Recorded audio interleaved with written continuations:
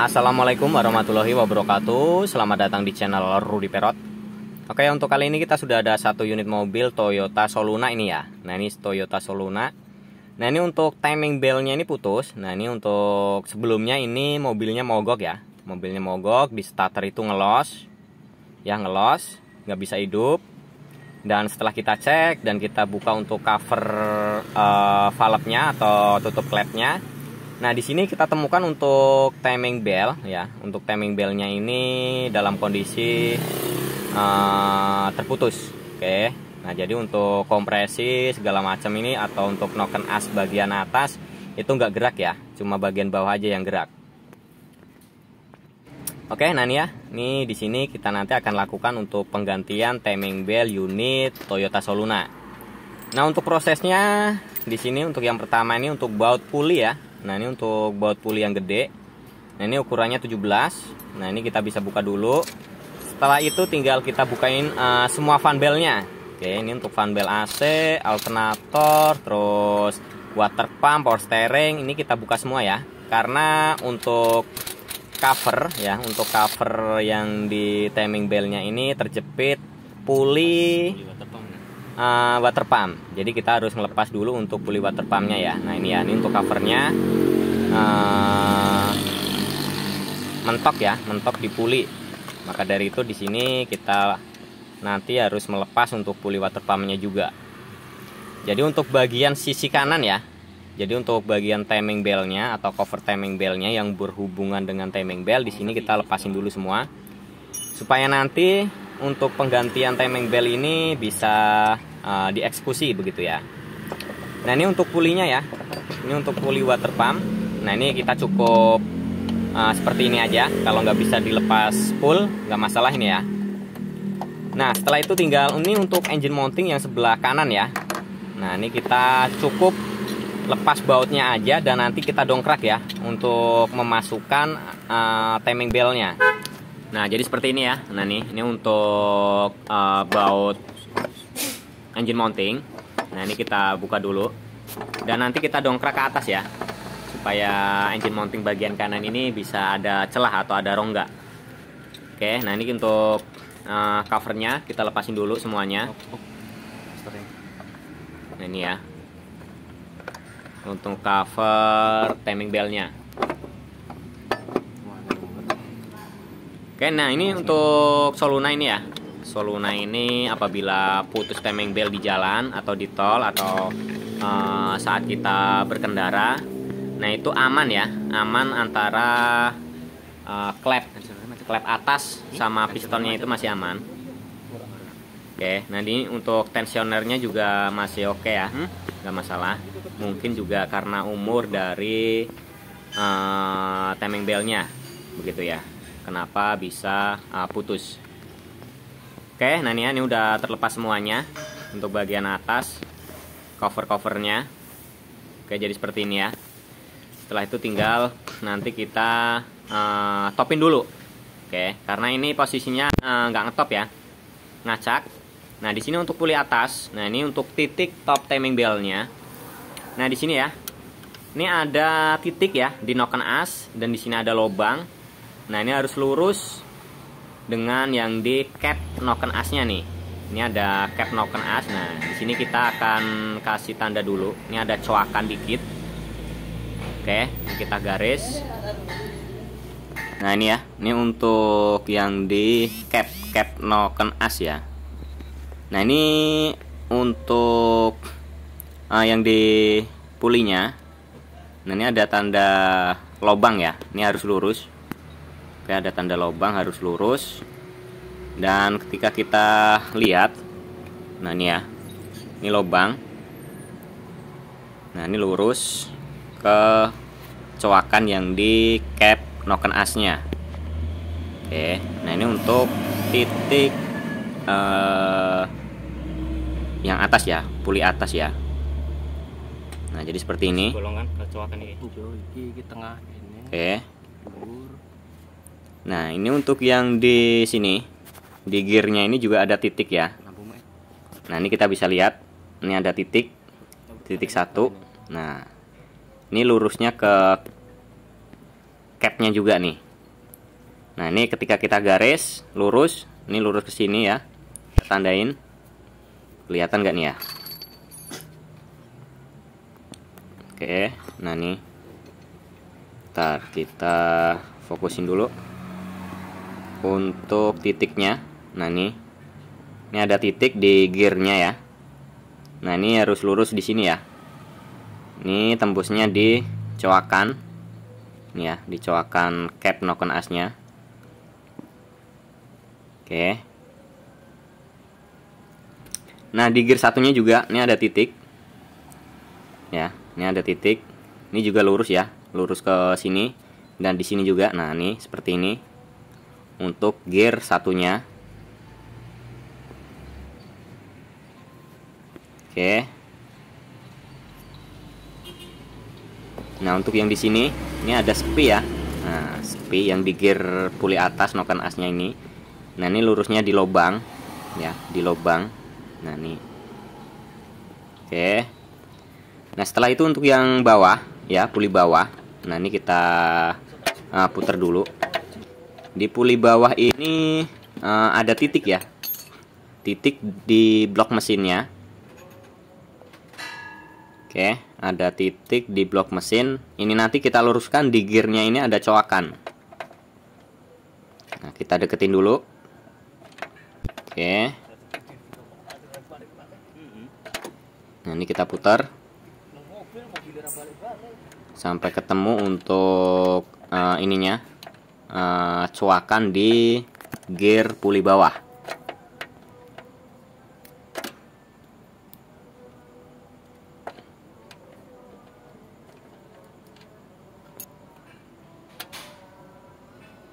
Oke, nah ini ya. Ini kita cari dulu. Ini kayaknya ke bablasan. Kita mundurin dikit. Terus,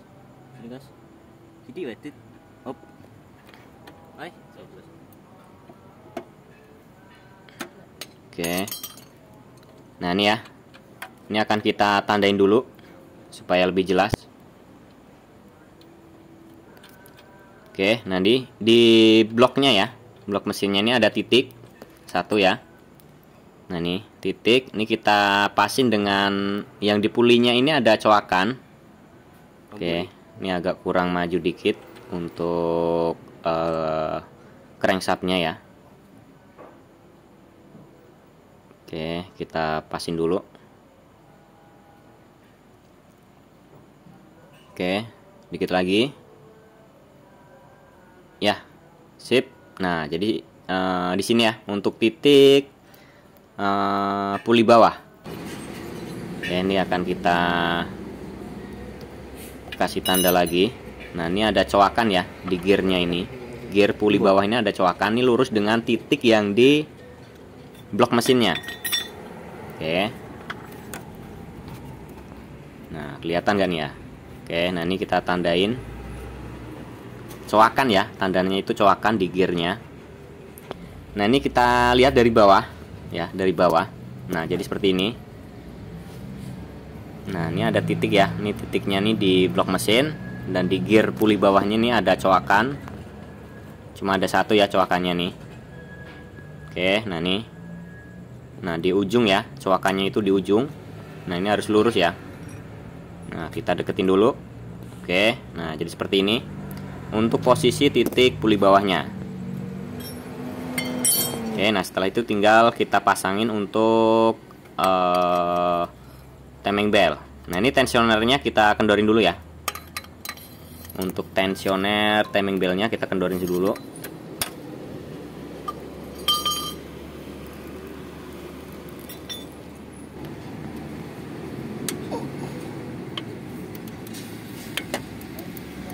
Oke, ini udah kendor.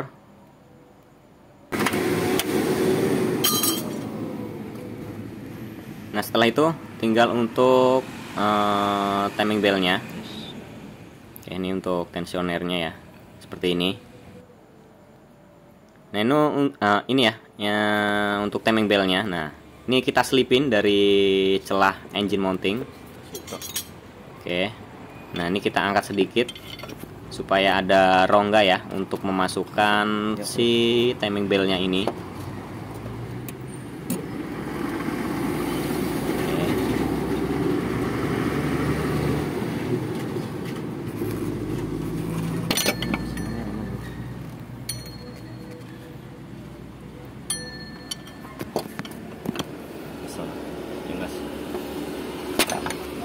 Nah, ini kita ambil dulu nih untuk karetnya nih, karet engine mountingnya. Oke, nah ini udah terlepas. Nah ini tinggal kita masukin ya. Kita angkat sedikit dan kita congkel supaya si timing belnya ini bisa masuk. Oke, nah ini udah masuk ya. Jadi seperti ini untuk prosesnya. Nah ini tinggal kita pasangin aja.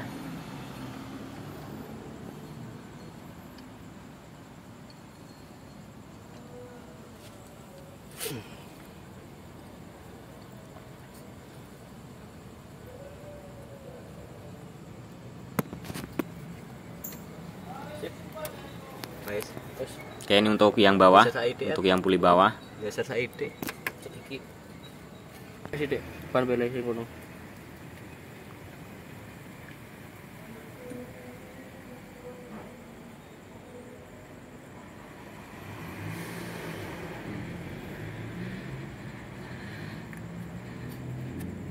Oke, ini eh, sedikit-sedikit Bisa, ya memasukinnya untuk timing belnya nih. Dan pastikan untuk eh, ini titiknya ini nggak geser ya. Oke, nah ini udah terpasang. Setelah itu tinggal kita kencengin ya untuk tensionernya. Oke, nah ini kita dorong dikit dan kita kencengin untuk baut setelan tensionernya.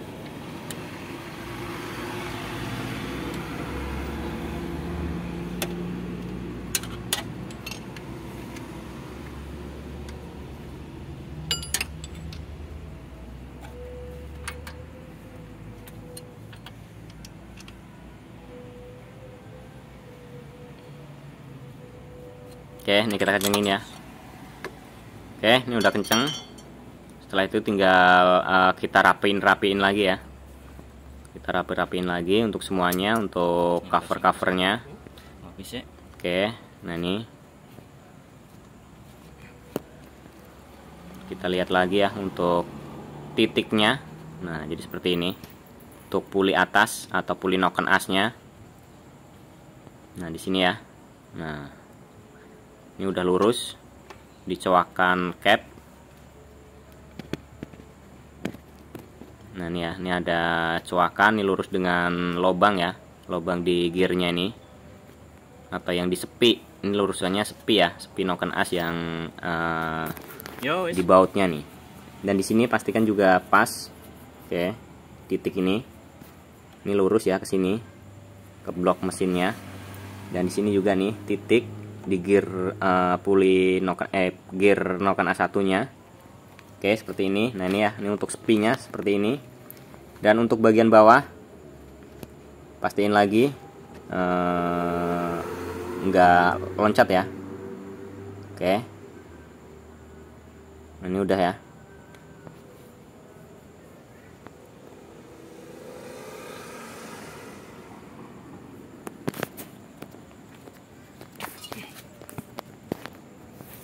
oke nah ini kita lihat dari bawah. Nah ini di titik ya. Titik lurus dengan coakan yang di gear puli bawah. Nah ini. Oke. Setelah itu tinggal kita pasang-pasangin semuanya. Hmm? Ya. nah ini ya.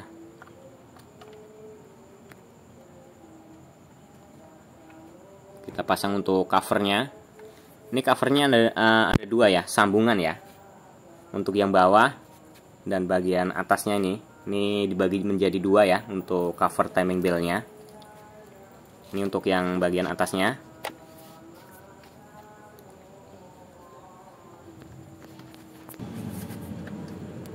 Oke, tinggal kita rapi-rapin lagi, kita baut-baut lagi ya. Setelah itu tinggal kita pasang puli, eh, water pump, fan bell. Oke, ini untuk covernya kita baut-baut lagi. Jadi untuk penggantian timing bell ya, timing bell untuk uh, unit Toyota Soluna. Soluna uh, Grid Corolla ini ya, ini sama. Dan di sini untuk unitnya ini uh, Soluna ya. Oke, ini untuk bagian atas. Setelah itu untuk yang bagian bawah, pulinya, puli yang gede ya.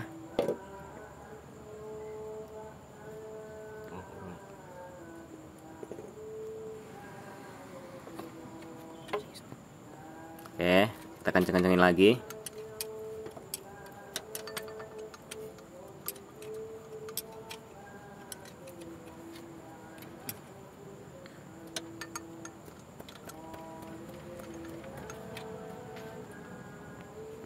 Oke, ini udah terpasang. Dan ini untuk pulinya. Pasangin juga dan kita kencengin untuk bautnya.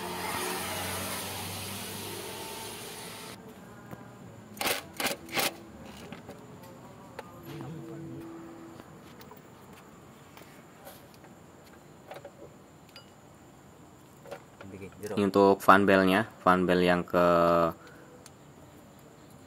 AC alternator ya.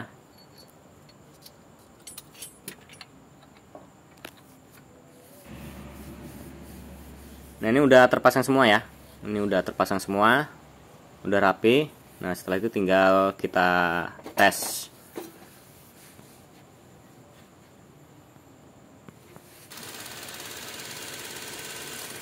Oke, nah nih, ini udah nyala untuk mesinnya. Oke, jadi eh, seperti itu ya untuk proses penggantian timing bell unit Toyota Soluna. Oke, terima kasih sudah menonton video ini. Mudah-mudahan videonya dapat memberikan informasi bagi kita semua dan dapat bermanfaat bagi kita semua. Wassalamualaikum warahmatullahi wabarakatuh.